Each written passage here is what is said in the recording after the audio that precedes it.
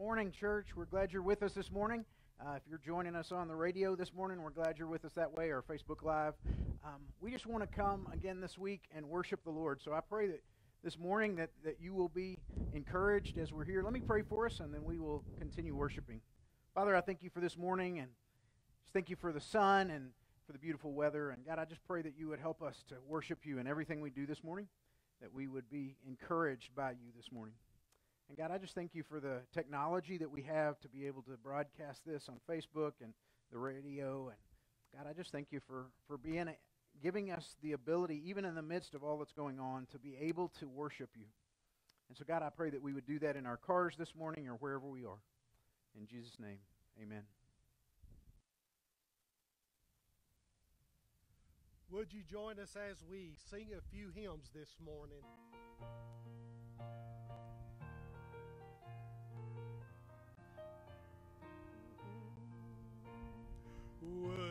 Be free from the burden of sin?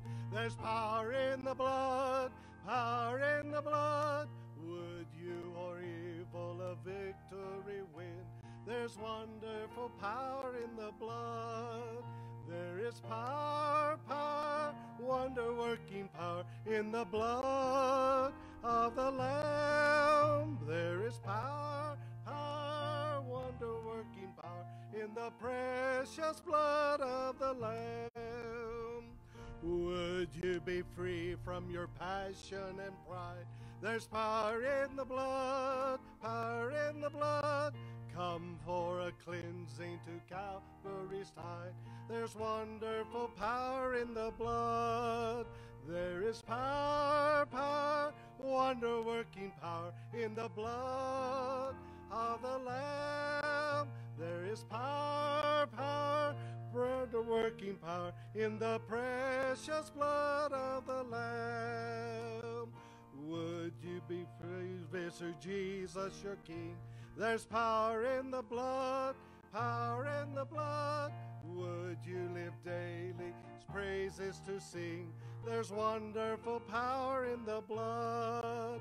There is power, power, wonder working power in the blood of the Lamb. There is power, power, wonder working power in the precious blood of the Lamb.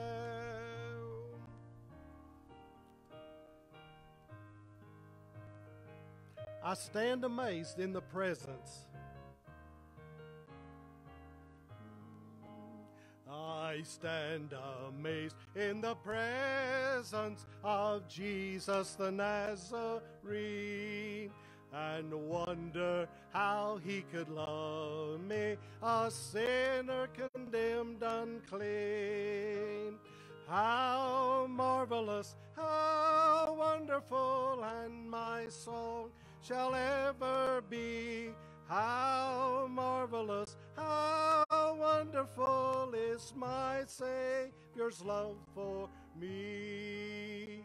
For me it was in the garden, he prayed not my will but thine. He had no tears for his own grace, but sweat drops of blood for mine. How marvelous, how wonderful, and my song shall ever be. How marvelous, how wonderful is my Savior's love for me. He took my sin and my sorrows, He made them His very own.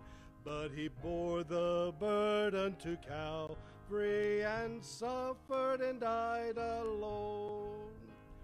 How marvelous, how wonderful, and my song shall ever be. How marvelous, how wonderful is my Savior's blood for me. When with the ransomed glory his face I at last shall see. Twill be my joy through the ages to sing of his love for me.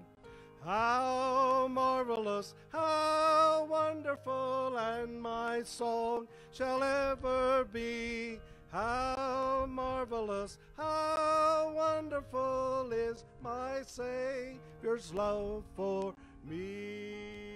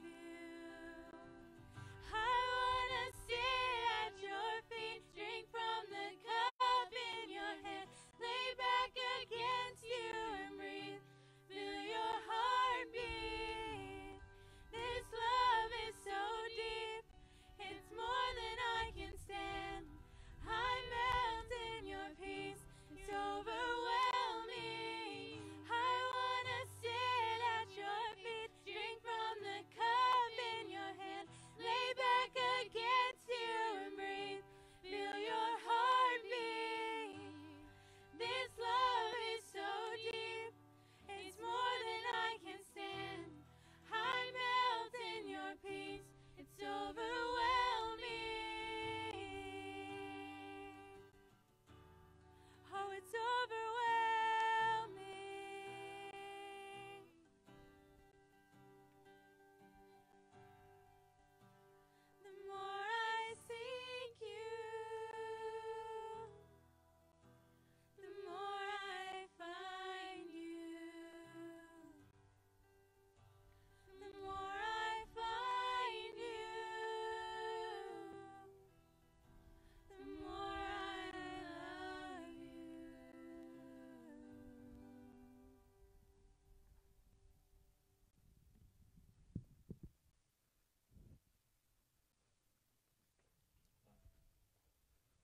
Thank you, ladies.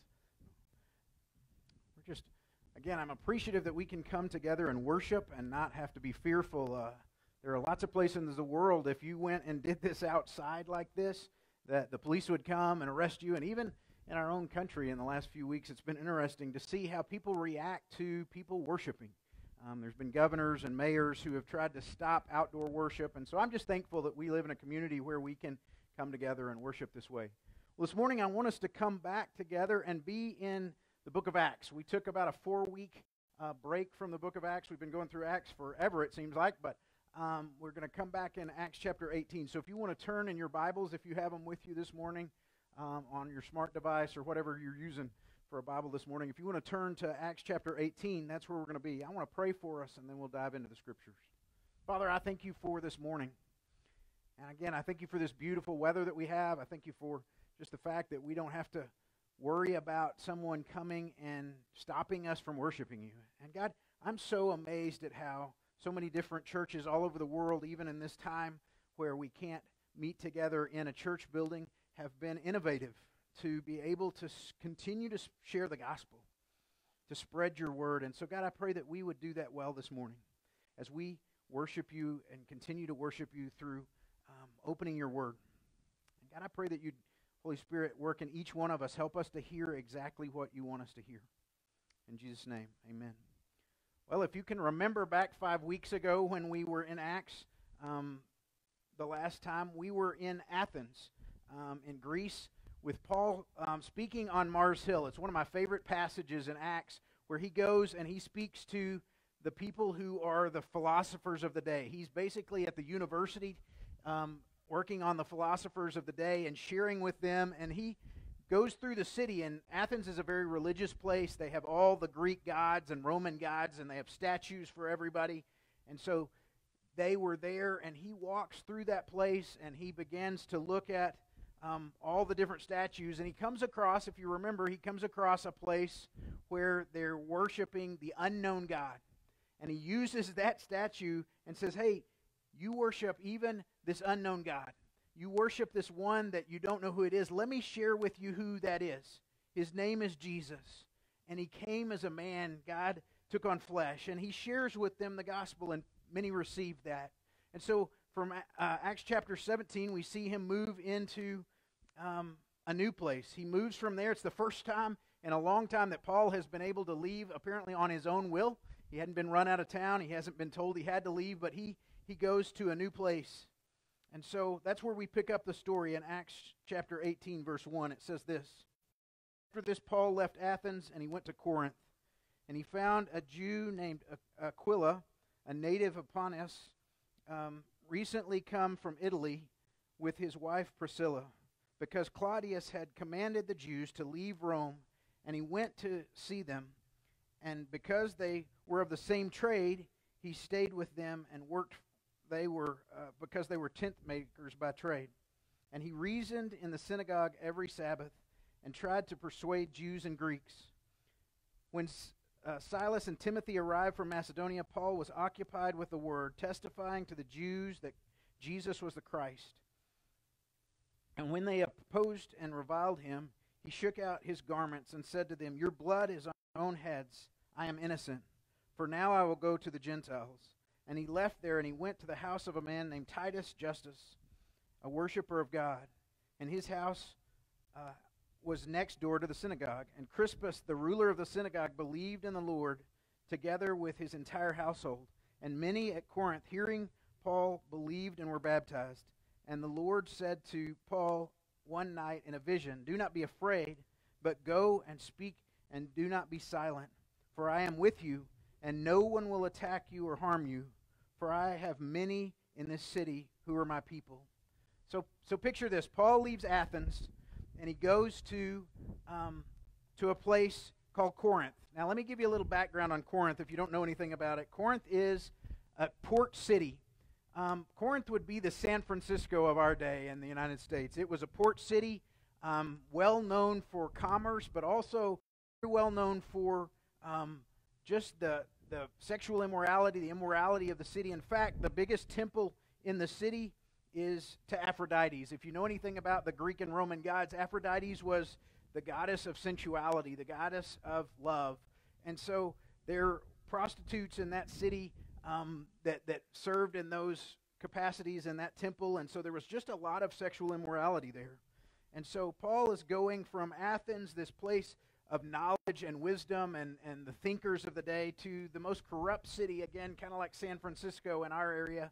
Um, and so he would, would be going to this place, and, and he goes by himself, it says, first. And so let me read to you just a little bit. It's, it's really cool how, if you read Acts and you read his letters to the different churches, you get a, a picture of what's going on. So let's read just a, a minute in 1 Corinthians chapter 2 verses 1 through 5. This is what's going through Paul's head. He's sharing with the church later when he goes to uh, Corinth. It says this And when I came to you, brothers, I did not come with superiority of speech or of wisdom, proclaiming to you the testimony of God.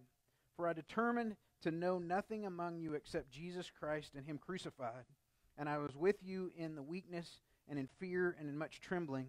And my message and my preaching were not of persuasive words of wisdom but in demonstration of the Spirit, and that the faith that should not be rested upon wisdom of men, but on the power of God.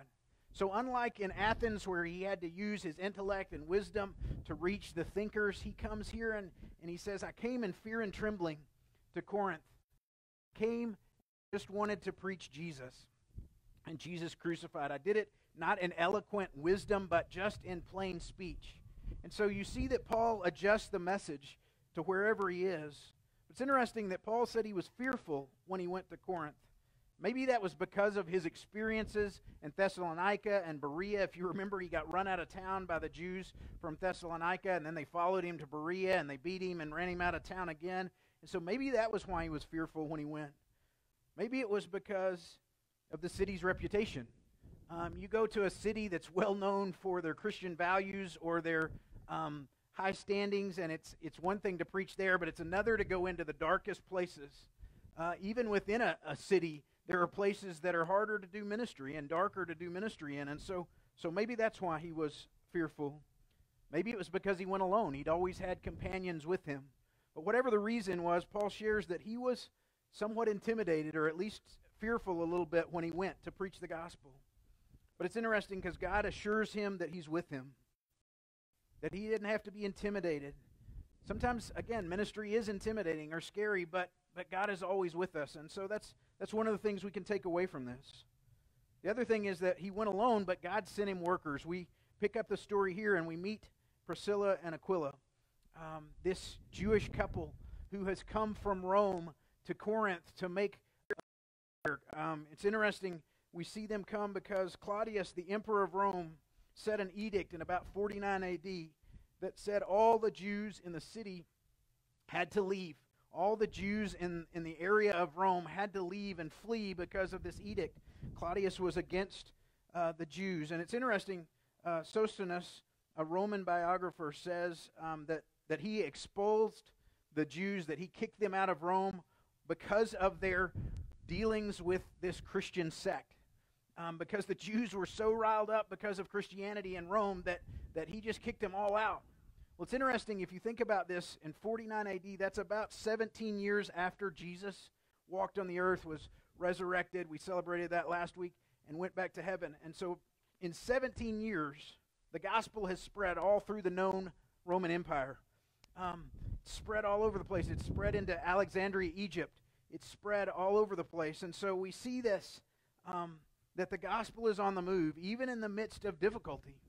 And so, because of Claudius and his persecution, Priscilla and Aquila go to Corinth, and this gives Paul two things. One, it gives him companionship when he shows up because he finds these Christians who are strong Christians, they're strong believers. We see that they become a, a huge part of the early church. But two, it gives him financial means because they are, um, the scripture says tent makers, but the literal meaning of the Greek here is that they worked with skins. So I guess they made tents out of skins, but what I take away from it is they were leather workers. Uh, some of you guys like to do leather work. I like to do leather work. So, so it's cool to me that, that the two things that I enjoy as hobbies one is woodworking and the other is leather working. We find those in Scripture. And so Paul picks up with Priscilla and Aquila, and he begins to um, work with them to spread the gospel. So it's interesting that they spread the gospel throughout the city of Corinth and they began to, to reach out to people there. At this point, Priscilla and Aquila are major companions to him, but they also meet Paul's financial needs until Timothy and Silas arrive. And when T- Timothy and Silas arrive, apparently they bring gifts from Macedonia, um, the churches in Macedonia, to allow Paul to focus completely then on preaching and teaching. It's interesting that Paul, at sometimes in his ministry, is bivocational. He works a job making tents or working in leather, and then he also um, preaches the gospel. At other times, the church around the world supports his ministry. It's interesting as Baptists, that's one of the key things as Baptists that we do is we work together. We are not bound as Baptists to each other because we have a pope or we have some national leader that tells us what to do. We're bound together because we want to cooperate together in missions. And that's exactly what happens with this church in Macedonia. Even though we see that they're under persecution, they send gifts. In fact, if you look at 2 Corinthians 11 9, it says this And when I was with you and was in need, I did not burden anyone, for the brothers who came from Macedonia supplied my needs.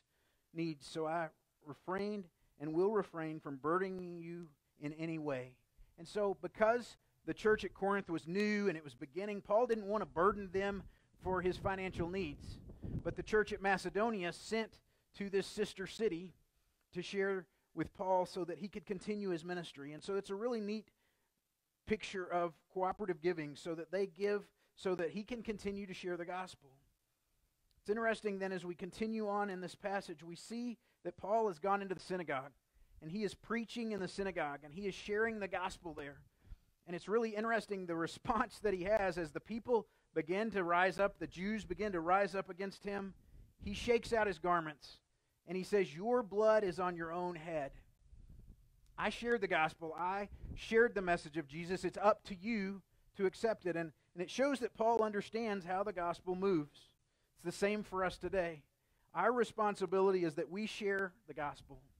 The Holy Spirit is the one who draws people to himself, and people individually have to accept the message of the gospel and accept it into their lives. And so that is the gospel. And Paul is saying that here that all I'm supposed to do is share the gospel. I can't make you accept it. All I can do is share it with you. And Paul says, I've done that.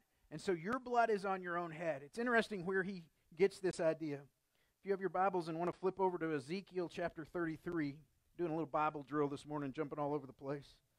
Ezekiel chapter 33, verses 1 through 6. This is where this precedent is set. It says this And the word of the Lord came to me, the Son of Man, speaking to your people, and say to them, If I bring a sword upon the land, and the people of the land take a man from among them, and they make him a watchman, and if he sees the sword coming to the land, and blows the trumpet, and warns the people, then if anyone who hears the sound of the trumpet does not take warning, and the sword comes and takes him away, his blood is upon his own head. He heard the sound of the trumpet, and he did not take warning his blood shall be upon himself. But if he had taken a warning, and he would have been saved and saved his life. But if the watchman sees the word, the sword, excuse me, coming, and does not blow the trumpet, so the people are not warned, then the sword comes and takes one of them. The person is taken away in his iniquity, but his blood will be required at the watchman's hand. And so, what Ezekiel is saying is the same concept that Paul is playing off of here. What Ezekiel was saying to the people of Israel is if, if the sword is coming, if there's somebody from the outside coming in to attack the city, and we have a watchman, if that watchman blows his horn and warns everybody that the, that the people are coming, and then you get taken away um, because you're not prepared, then it's on your head. Your own blood is on your head. But if the watchman fails to do his job, if he falls asleep or he gets lazy or he runs away and he doesn't blow the horn, then the blood is on him. And so Paul understands this. And Paul says, basically, I've done my part. I've come to the synagogue, I've come to the Jews, and I've shared the gospel. You have to accept it for yourself. It's not up to me to force you to accept the gospel. You have to decide for yourself whether you're going to accept it. And so we see this picture here of that, that many of the Jews didn't want to accept the gospel, but they had had the chance. They had had the, the gospel shared with them openly. And so Paul shakes off his garments. If you look at that and the idea of shaking off your garments, we see back in Acts chapter 13 where Paul and Barnabas do a very similar thing when people don't listen to them. It says in Acts 13:50, but the Jews incited a devout woman of high standing and the leading men of the city and stirred up persecution against them and Paul and Barnabas and drove them out of their district. But they shook off the dust of their feet against them who were in Iconium and went on to Iconium. And the disciples were filled with joy and the Holy Spirit. So this was this was somewhat of a curse on them, saying, if you're not going to accept the, the gospel, if you're not going to follow what Jesus tells you to do and accept the gospel, then it's on you. And so again, that's that's our plot today. If you're here or you're listening on Facebook or you're listening on the radio and you've never given your life to Jesus and you've heard the gospel, if somebody shared with you how you can know Jesus Christ, that you can accept him for the forgiveness of your sins, then your blood's on yourself because you've heard the gospel. But if nobody ever shares with somebody and they die in their own sin, then that's on us as Christians around the world that we don't share the gospel. And again, I'm, I'm really intrigued and excited about this time that we're in because we are in a time where it would be easy for the church just to fold up. It would be very easy for the church right now to just say, okay, the governor or the county people or the mayor or the president has said we can't meet.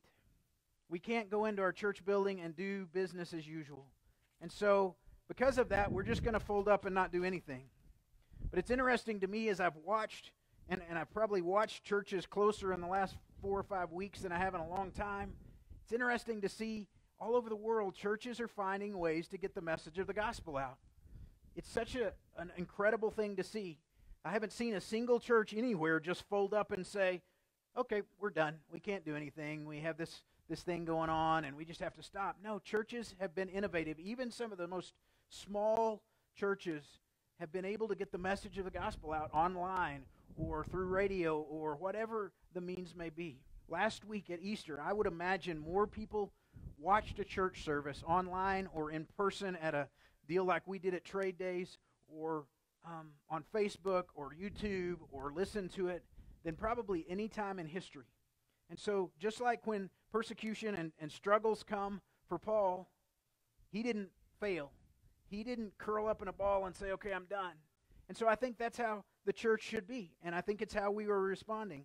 We're trying to do whatever we can to, to continue to get the gospel out. And so we, we see that God is faithful in that. In the midst of this, Paul again has a fearful moment. And God comes to him in a vision and says, Hey, Paul, don't be afraid. Don't be scared. Keep doing exactly what you're doing. Keep doing exactly what, what I've called you to do. And Paul responds to that and continues to do that. It's, a, it's an interesting phrase in here when we look at this. Um, we see that he said he had many people in the city. Now, some theologians, some commentators that you look at would say that he's talking about angels, that he had angels around Paul to protect him. And, and I've been in places, I've shared some of those kind of stories with you where you see that happen, where God provides angels to, to protect people, and there's no other explanation for it. And it may be, though, that he's just saying there's lots of believers already here in Corinth because they of persecution from Jerusalem and Rome and different places. They've already come in, and, and so I have people. But, but it's interesting that Paul is reassured and he continues to preach the gospel. We see um, that a guy named Titus Justus gives his life to Christ. He lives next door to the synagogue and he hears the gospel and he gives his life to Christ. And so it's interesting because this is the very same Titus that Paul later writes a book to as a pastor.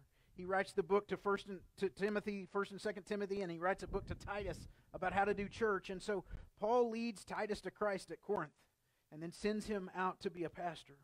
And then Titus shares the gospel and continues to help Paul minister, and he reaches his next door neighbor. It says the synagogue is next door to his house. Well, the leader of the synagogue, named Crispus, comes to believe in Jesus says he and his whole household believes. This Jewish leader then comes to Christ. So the gospel's on the move. So it's interesting that we continue to see, even in the midst of all of this, that the gospel continues to move. And then it says, and many of the Corinthians, hearing Paul, believed and were baptized. It's an interesting point here. You always see baptism come after belief. There are many churches and organizations that, that baptize babies or different things, but you never see that in Scripture. But what happens is that these people give their lives to Christ, and then they are baptized, following and joining the church. So Paul all of a sudden starts the church at Corinth that he will later write two letters to, and we get to see a little bit about their issues through those letters. But Paul continues to share the gospel. The gospel continues to move. Many people accept the gospel. Um, and Paul is reassured again that the gospel is going to continue to move through him, that he doesn't have to be fearful.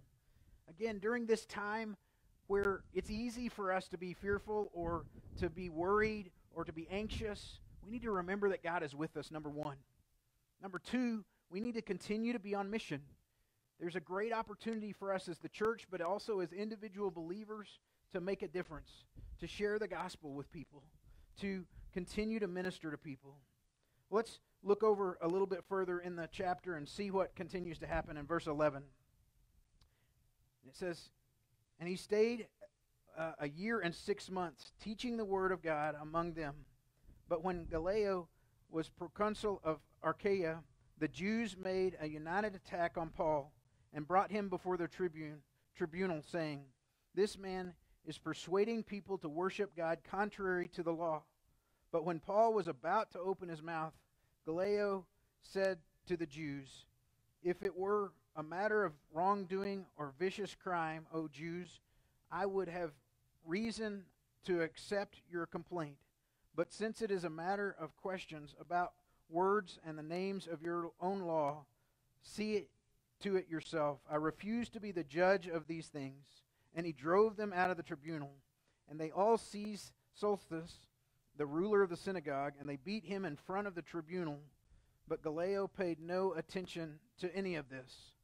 This is an interesting thing, and sometimes if you read over these kind of things, you don't really study them deeply. You don't you don't see the significance of this, but but this is a really interesting thing. The Jews attack Paul and they bring him in, in front of the Roman governor of the area. Um, and the Roman governor becomes an unlikely advocate for him. Gallus um, is a prominent Roman governor. He is the brother of Seneca. If you know anything about Greek and Roman philosophy, Seneca is a great philosopher who had great influence in Rome. And this is Gallus, his brother. Um, Gallus um, sets a ruling here that sets precedent for Roman law um, because of his prominence. And what the Jews are arguing here is that uh, Paul is preaching some new religion. Under Roman law, it was against the law to start a new religion. Judaism was accepted as an ancient religion under Roman law, so it was permissible to practice Judaism, but, but you couldn't practice something new. But what Gallus is saying, Paul doesn't even have to open his mouth here. What Gallus is saying is, hey, this is just an outspringing of Judaism. Christianity is just a group that comes out of Judaism, which is true. Jesus was a Jew, and he came to be the leader, the Messiah of the Jews. And so Gallus sees that and says, Look, this is your issue. Jews, you deal with this on your own. But the cool thing about this is this sets a Roman precedent. Just like in our country, where um, when, when one judge rules, the other judges look at it when they, when they want to do that, and it's called setting precedent. And so they, they do that here. And so this frees Paul in a lot of ways to be able to continue to share the gospel um, without persecution. So it's an important thing that God does here. So maybe when God says that he has people in this town, it means he's going to influence people of influence. Even so, if they're not believers, that they're going to help Paul. And so Paul gets to continue to share the message. In fact, it's really interesting what happens is the Gentiles in the area turn on the Jewish new leader of the synagogue. If you remember, the old leader became a Christian, so now they have this new leader named Sosthenes, and they turn on him, and, and so he's the one that gets in trouble for all this. They say, Why are you inciting all this trouble in our city? And they turn on him. Um, and so Gallus kicks them out, and, and Paul's message continues to be able to be spread. Um, it's interesting here because, again, this sets a precedence that allows the gospel to continue to move in Corinth. Um, it's really interesting also if you look at uh, 1 Corinthians 1 1, Paul writes a letter back to Corinth later, and he says this Paul called as an apostle of Jesus Christ by the will of God, with Sosthenes, our brother. And through, even through this, the, the second ruler of the synagogue in this currently becomes a believer because now he's with Paul, traveling, and Paul is writing a letter back to Corinth, and he uses this man's name in the letter in the greeting. And so the gospel is on the move, even in the midst of, again, turmoil, even in the midst of struggle. The gospel is on the move. Um, I think we really need to, to key in on that and understand that. God's word is spread. When we, as faithful men and women, as faithful followers of Jesus, continue on even in difficult times to share the gospel, how does that look in our modern times? Um, maybe you have a neighbor or a family member who is incredibly anxious about what's going on in the world. Now is the time to share with them about the peace that comes through Jesus. Now is the time to share with people how, if they will confess their sins to Jesus, accept his forgiveness of that sin, accept that he died and rose again for them, that they can have Jesus living within them. All they have to do is ask and accept the free gift that he gives. And so we need to be like Paul. We need to be like Paul and his companions who continue, even in the midst of difficulty, to share the gospel, to be able to talk to people about what's going on in their lives and not curl up in a ball and hide out somewhere. If you think about it, that would be, again, such an easy thing for Paul to do in many circumstances. For him just to say, you know, things are too hard. Man, things are really difficult now. I'm just going to I'm just going to go back to making tents. I'm just going to go back to doing work with leather and and I'm going to forget all of this. But Paul doesn't. In fact, it seems like the more adversity that comes on Paul, the more bold he gets. The more he begins to share the gospel more and more. Another thing that we see in this passage that I don't want you to miss is that Paul is preaching and he left the results to God. So often, as we share our faith, people reject it, or at least immediately they don't respond. And it's hard for us because we so want people to come to Christ, so we get discouraged. But Paul here understood his place in sharing the gospel. That what his job was, was to share the gospel and leave the results to God that he was to share the gospel, but the Holy Spirit was the one that was to draw people to himself. And so I think we need to take heart in that. That God is always with us, and, and he promises that his word will not go out void, but we don't always see the results like we want to. That's not on us. It's not because we didn't do a good job or we didn't share our faith the way we should. The only time that we can say that we were a failure in sharing our faith is if we don't do it at all. But God will be the one that will draw people to himself. And people have to accept on their own. You can't force them to do that. In fact, if you're here hearing this message this morning, I want you to think about that. Have you ever accepted Christ for your own self? Nobody else can do it for you. So often when I was doing college ministry, I'd talk to, to students and I would, would share the gospel with them. And they'd say, Oh, yeah, I'm a Christian because, man, my grandma, she was a good Baptist. Or my dad was a deacon. Or whatever. You know, it doesn't matter if somebody else is a Christian, what it matters is if you really given your life and had a life changing experience with Jesus. So we need to, to think about that. And as we share our faith, as those of us that are believers share our faith, we need to take heart that it's, we don't have to do it alone.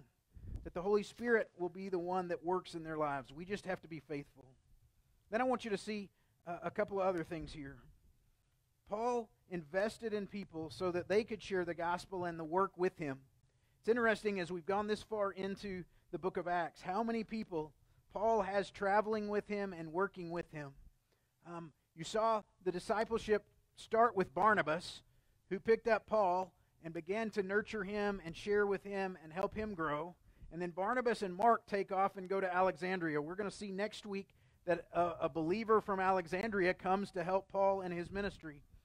But but we see here that this gospel has gone, and now you see Silas and Timothy and Aquila and Priscilla and Titus have all joined in the ministry because of Paul's faithfulness. And he is discipling them. They all will become leaders in the church. They will all become people of influence in the church because Paul invested in them.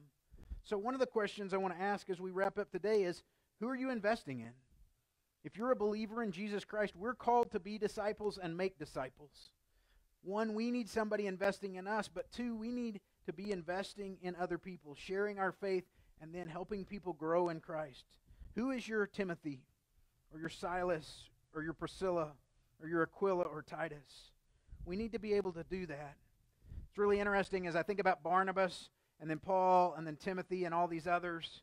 Um, when I was a student in Thailand, I had a, a, really neat experience. While I was in college, I had a, a guy named Brant who invested in me, discipled me. We met weekly, and he really poured a lot in my life. It's one of the most intentional discipleship relationships I've ever had. And it was really cool as Brant poured into me um, to, to just see that relationship. Well, I, I went as a summer missionary um, with Campus Crusade in 1990 to Bangkok and spent eight weeks in Bangkok.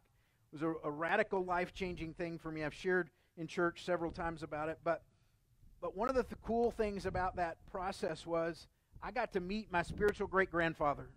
Um, I got to meet the guy who discipled the guy who discipled Brant. He was a missionary in Thailand at that point. And, and I got to meet Chip. Chip was, and I got to sharing, and we began to put the pieces together. And Chip began to share with me about a guy he invested in as a college student. And that guy was actually the guy who led Brant to Christ at the University of Texas. He led him to Christ. And so, um, so that was a, a huge thing um, for me to get to see that spiritual heritage go down. Um, so we need to, as believers in Jesus, we need to be able to have people that we're investing in. So if you're here today and you've never invested in somebody, find somebody you can disciple. Your kids and your grandkids are probably the most natural place for you to do that. But but find somebody that you can pour your life into. Somebody younger in the faith. And then the last thing that I want us to do is I want us to see that in unprecedented times we need to be faithful. We need to be faithful to the gospel. So, will you continue on in your faith? In the midst of hardship, in the midst of struggles, will you be faithful to the gospel? Will you be able to do what God called you to do? I want to pray for us, and then we are going to continue to worship. But, but this morning, if you're here and you've never given your life to Christ, you can do that. You can do that even now. You can give your life to Christ. And all you have to do is, is reach out and ask Him to forgive you of your sins. Trust and believe that, that He is who He said He was and that He rose from the dead, and you can be saved. If you're here this morning and you are a believer, I want you just to continue to be faithful. Find people you can invest in, pour your life in. Let me pray for us. Father, I thank you for this morning. I thank you for just the message of the gospel. And I thank you as we see Paul's faithfulness, God, that we need to be reminded that we need to be faithful. That we need to be reminded that we can be, even in the midst of unprecedented times, we can be about sharing the gospel and about sharing the good news with people. And God, I thank you for being a God who loves us, who created us to know you. And God, if any of us need to make a decision this morning to, to give our lives to you, whether that's somebody listening on the radio or if it's somebody um, here in our parking lot or God watching on Facebook, I pray that you would help them to have the courage to do that. God, whatever you want us to do, you do it. In Jesus' name, amen.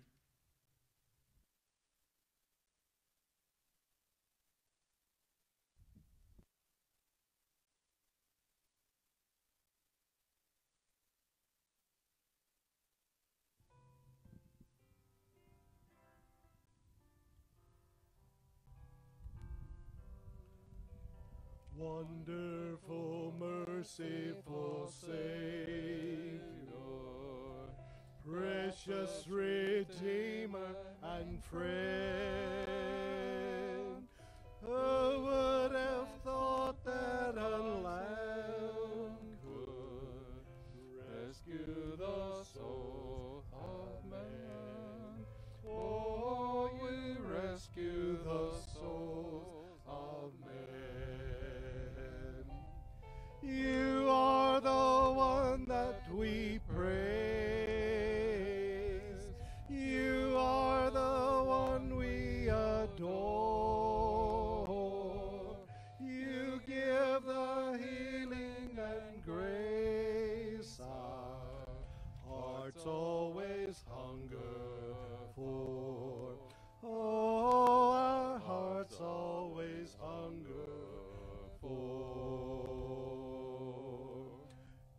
Counselor, comforter, keeper, Spirit we long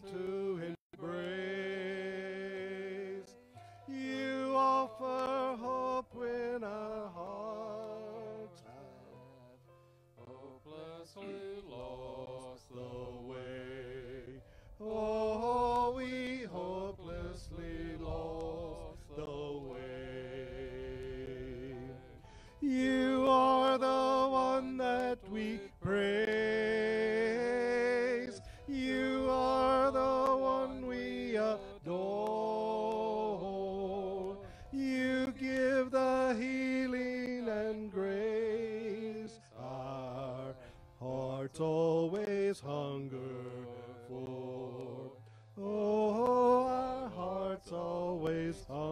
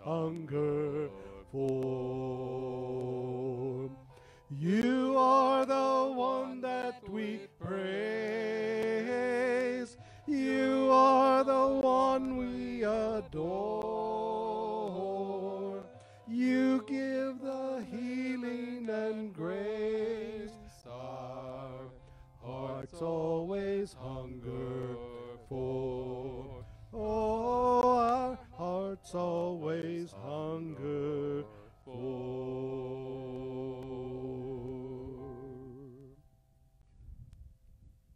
Love lifted me.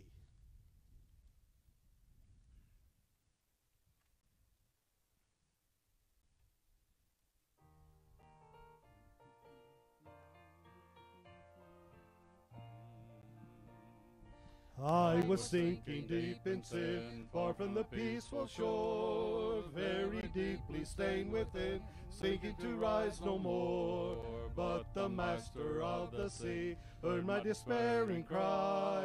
From the waters lifted me, now safe am I. Love lifted me, love lifted me, when nothing else could help. Love lifted me, love lifted me, love lifted me, when nothing else could help. Love lifted me. All my heart to Him I give, ever to Him I cling. In His blessed presence live, ever His praises sing. Love so mighty and so true merits my soul's best song. Faithful, loving service to, to Him belong. Love lifted me, love lifted me, when nothing else could help. Love lifted me, love lifted me, love lifted me, when nothing else could help. Love lifted me. Souls in danger, look above. Jesus completely saves. He will lift you by his love out of the angry waves. He's the master of the sea, billows his will obey. He's the Savior, wants to be, be saved today. Love lifted me, love lifted me, when nothing else could help. Love lifted me, love lifted me, love lifted me, when nothing else could help. Love lifted me. Our last song is very appropriate for our times today. I need thee every hour.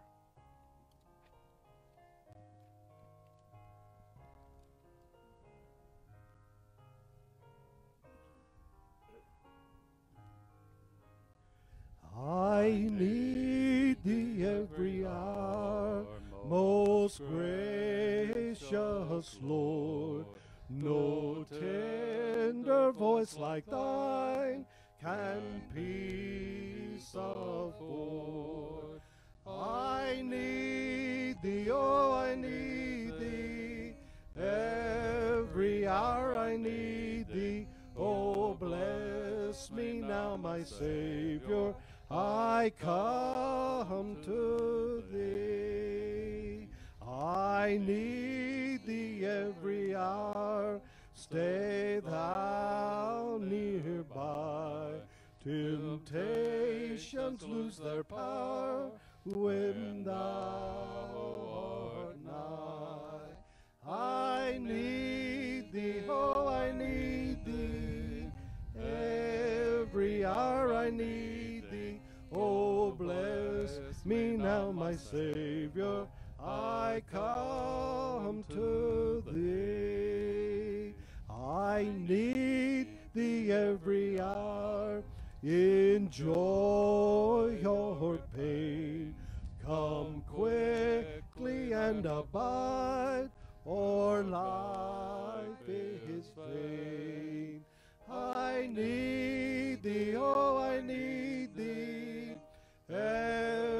hour I need thee. Oh, bless me now, my Savior. I come to thee. I need thee every hour. Teach me thy will. Thy promise is so rich in me fulfilled. I need thee, oh, I need thee. Every hour I need thee. Oh, bless me now, my Savior. I come to thee. I need thee every hour, most holy one. Oh, make me thine indeed, thou blessed Son. I need thee, oh, I need thee. Every hour I need thee. Oh, bless me now, my Savior. I come to thee. Thank you, gentlemen, for being here and leading us in worship this morning, and ladies for helping. Hattie had a very important job, the wind catcher. So uh, I think we've learned in these outdoor services that guitars make really good kites. So if you want to fly a kite, get a guitar shaped one. Unfortunately, we've had two blow over the last few weeks, but thankfully both of them I think are still in working condition. But thank you for being with us today. It's a beautiful day. I hope you'll enjoy some time today. Get out maybe and work in the yard or at least be outside a little bit. The wind's not too bad for West Texas standards. So let me pray for us and we'll be adjourned today. Father, I thank you for another day just to come and to worship you. And again, Father, I just thank you for the technology to allow us to be able to do this. So, God, I pray that we would be bold in sharing our faith, that we would continue to find ways to reach out to people, um, whether it's from preaching and worshiping or individually sharing our faith or meeting the needs of people who may have needs during this time. And God, I pray for all over our nation and world that you would just bring healing to people who are sick. Um, Father, that you would remove this virus from us so that we can get back to a place where we can do the things that, that we're used to doing. But God, as we do that, I pray, God, that we would be more focused on you and on our families and the things that this has brought us back to, and maybe put aside so many distractions that we've had in years past. And so, God, I thank you for being a God who loves us, that you're always in control. And I thank you for just the way that you provide for us, even in the midst of difficult times. So go with us this week. In Jesus' name, amen. Have a great week. Be safe as you go home.